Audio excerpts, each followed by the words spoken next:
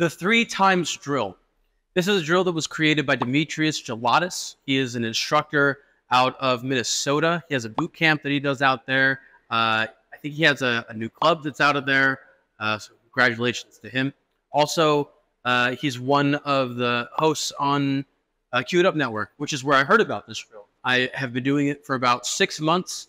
Uh, I do it once or twice a week, and I'm telling you, it's incredibly humbling, eye-opening, and it it has really improved my ability to look at a layout and sort of uh, extract the most optimal pattern uh, for position play. Because if you don't hit position on this drill well, guess what? You're out of line. You got to come with a recovery shot, and not just once, but three times. So here's how this works. All right, so I got three balls on the table. Just put them out on the table. Uh, so we're running three balls. Easy. One, two, three balls. No big deal. I can run a nine ball rack, I think, sometimes, maybe. Listen, I'm shooting this one ball three times. I'm going to take the worst position. I'll repeat, the worst position from shooting this ball three times. I'm going to mark where the cue ball ends up, and then I'm going to shoot the two ball from the worst position three times. The position from the two ball to the three ball, take the worst position three times. Shoot the three ball three times, right? And then I'll probably try to get on an imaginary four ball somewhere. You will quickly realize how your position play devolves into something where you just gotta you gotta catch up all of a sudden. Let's mark it. Boom. For safety reasons, I think I want to get the cue ball more center table, right? And then go two rails towards position on the three ball for that corner. If I come down past the shot line here, I have to cross the next shot line and or flirt with the side pocket. So I don't want to do that. I'm going to try to get more center table position maybe even left side of the table. I got to think about stretching too. These are things that you think about more and more. The more I do these drills, it's it's it's more about the percentage, not just in the shot itself, but in where's my body, right? What's my goal? Can I get the stroke out in the way that I need to from the middle of the table? So let's give it a shot.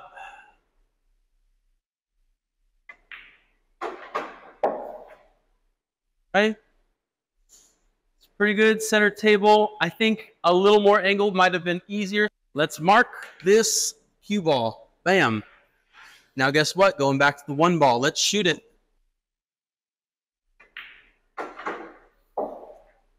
Okay, go, go, go, go, go, go, go. That's honestly, I'm I'm of happy with that.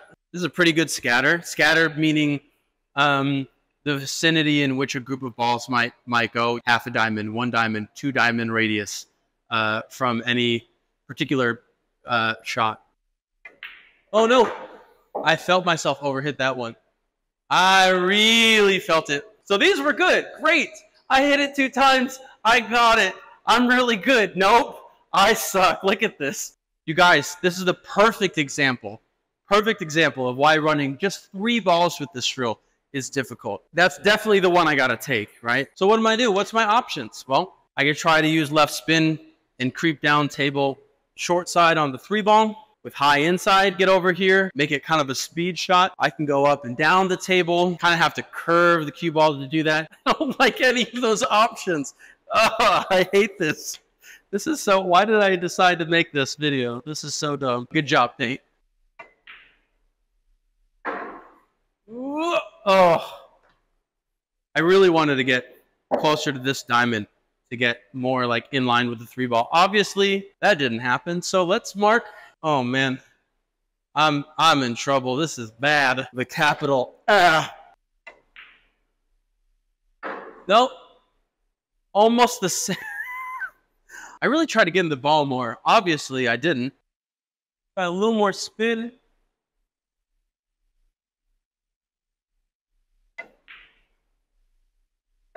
All right. Sort of got to take this shot. Let's say the four balls down here. I got to dig into this ball, uh, uh, close to the rail again. Quite happy with that, actually. I would call this a recovery shot. Thinking about recovery shots. Usually they're not very repeatable, but I guess Hopefully, I can prove myself wrong here. Let's try this one more time. No! Oh! Oh! Okay, so I hit it a little thin. Listen, this is the exact reason why this drill is so good. So obviously I didn't shoot too well today. That's fine. I, I think this is a, a, a better demonstration if I don't shoot that well. So if there's anything to take away from this, it's that pool is hard. Not every shot is a gimme, and not every layout is a gimme. It has been a journey for me to understand that you can't operate like breaking and running one rack, a nine or 10 ball or whatever is enough to call yourself a good player. That's not really the goal. The goal is to understand the table and to put in the work, make this doable, right? Can't make three balls, three balls. And as much as I might be not so happy with how I shot here, it's a better demonstration to to really showcase why you're you're not good. I'm not good. You have to treat every shot like it's difficult because guess what? It is. I know why I got so preachy all of a sudden. But anyway, try this drill. It's great. Thank you, Demetrius, for this drill. Uh, uh, go check out his his boot camp. I think it's at MN Pool Boot Camp. Ugh. Correct me if I'm wrong. Uh, uh, try it. Happy shooting.